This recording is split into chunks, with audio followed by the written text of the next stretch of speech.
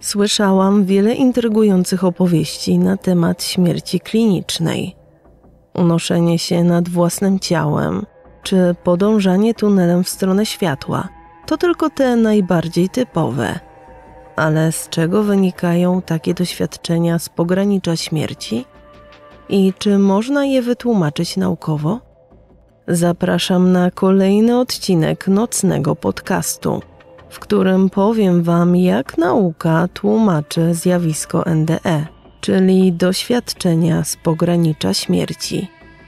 Doświadczenie śmierci, w skrócie NDE, to odczucia zmysłowe doświadczane przez osobę, która niemal umarła lub była w stanie śmierci klinicznej. Tego typu doświadczenia nie należą do rzadkości.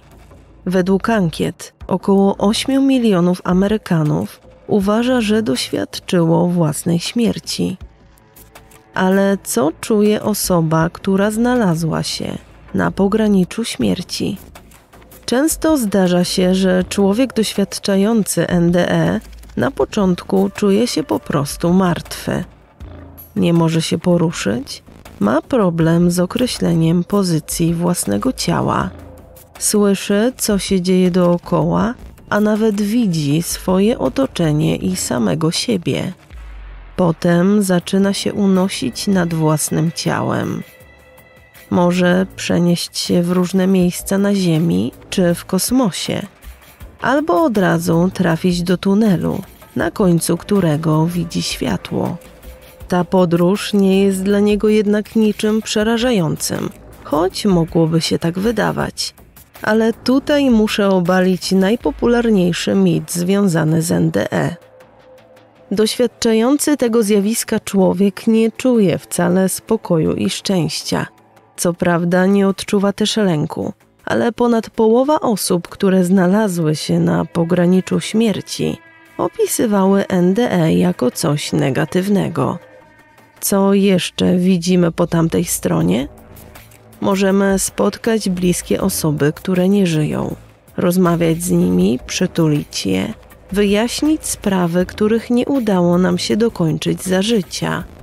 Niektórzy widzą również postaci związane z wyznawaną wiarą. Może to być Bóg, anioły czy inni przewodnicy duchowi. Mogą oni nawet udzielać takiemu człowiekowi rad, omawiać jego życie, przepowiedzieć mu przyszłość albo wskazać właściwą drogę.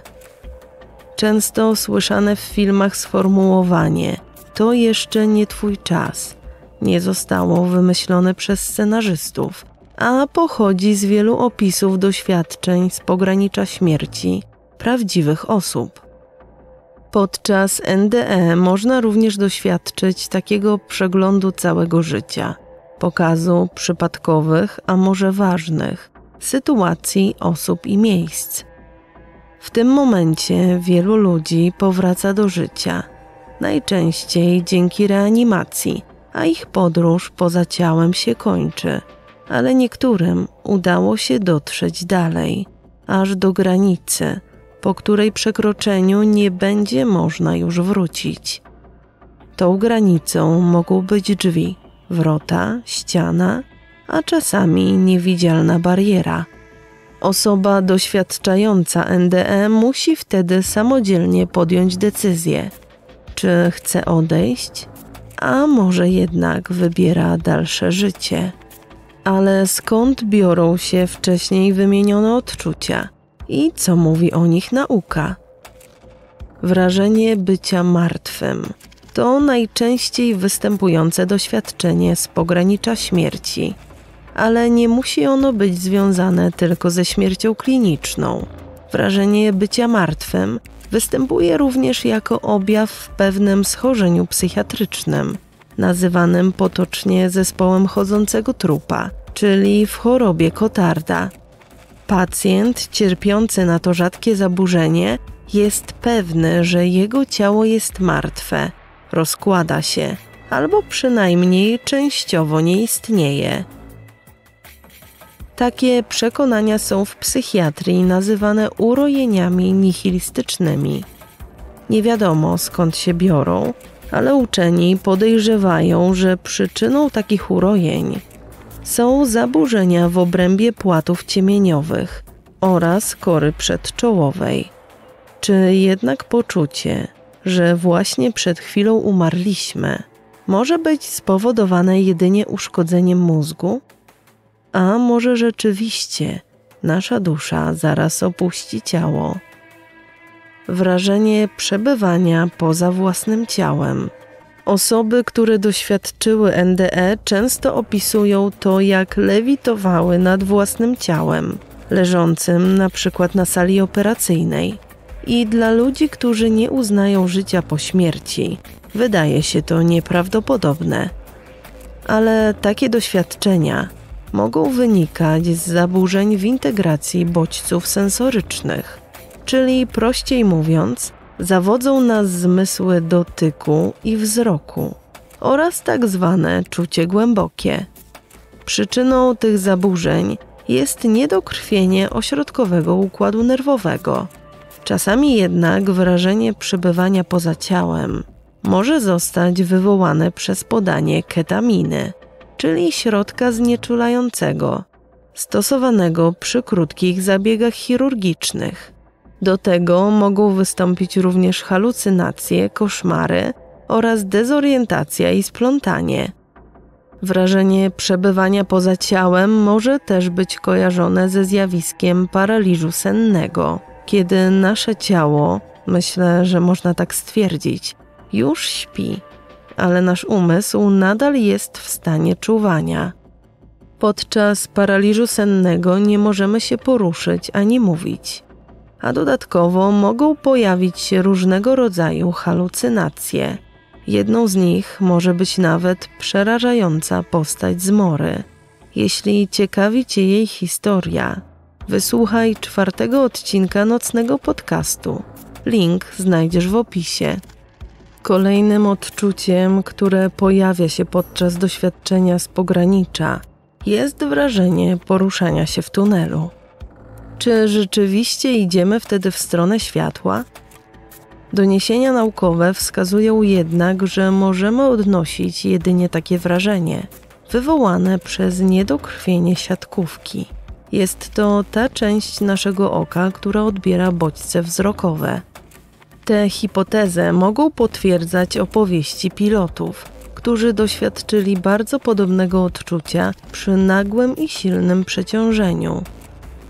Sam tunel również może zostać wytłumaczony naukowo.